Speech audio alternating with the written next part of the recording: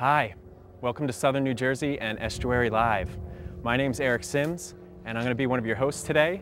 And the reason why I'm whispering is because we happen to have a baby with us here on the marsh today who's been getting ready for an on-camera appearance a little bit later on. So let's take a look and see what we have.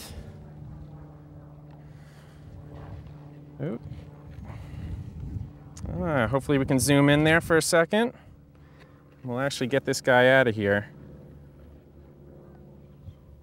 This is a diamondback terrapin turtle. It's a hatchling. And the reason that we're talking about babies today is because we are focusing on estuaries as nurseries, as places where lots of animals like to come and find their mates and breed and raise their young. And it's a great environment to do that. There's something I want you to take a look at that I have in my hand right here. Okay, this orange piece of plastic.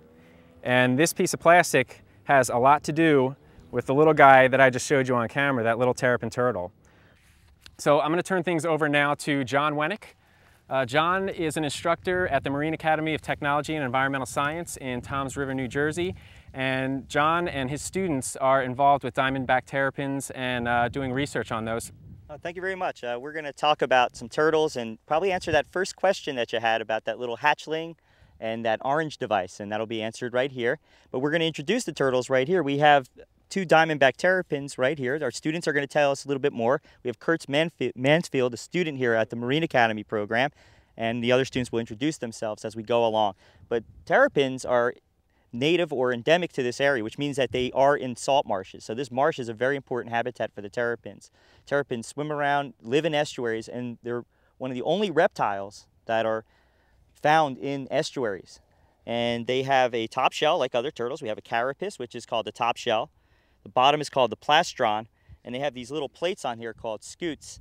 And we can sometimes age terrapins by using those. Terrapins will feed in marsh systems and they'll eat things like snails and crabs and they'll live their whole entire life cycle right here in an estuary.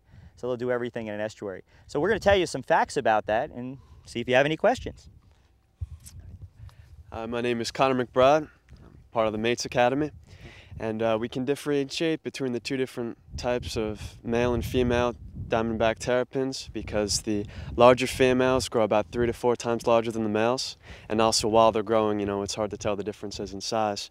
But the males have longer and skinnier tails, while the females have shorter and stubbier tails. See. Good job, Kurt. There you go. Well, hi, I'm Crystal Diaz. Um, well, things about terrapins are males and females are ranged very bigly in like different sizes. Um, females, you can always tell uh, they're bigger because they need more room to lay the, to have the eggs and hold them in their bodies. Um, female terrapins become mature about seven years, and males become mature about three years. Um, when females go to nest, they nest up on the bay banks and they lay eggs from four to uh, 18 about eggs about in a nesting ditch about 6 to 18 inches, and um, terrapins live to about 40 years old. So I'll hand it over to Michelle.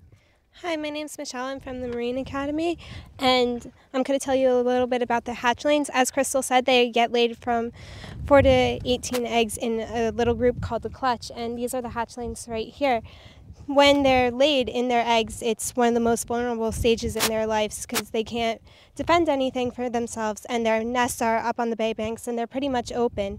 And their predators include crows, gulls, um, mainly crows and gulls, basically. And here's Stephanie to tell you a little bit more about the hatchlings. Uh, basically, the hatchlings hatch in a like immediate period of time, ranging from two to three months. Um, some of them actually stay in the nest longer, which is called late excursion. And that just means that they'll stay in there throughout the winter. And this can be a good thing and it can be a bad thing. Uh, the reasons why it's good is because when they stay in there, they last throughout the winter and then they'll hatch in the spring. Normally, they'll hatch around like the fallish area and they'll have more predators. When they hatch in the spring, they have less predators. The only unfortunate thing is during the winter months, they they have a chance of freezing. Um, depending on what kind of soil they're put into in a nest, the soil actually holds water and may freeze and kill the eggs. Hi, I'm Amy Marasco. Um, a lot of threats to terrapins are actually caused by humans.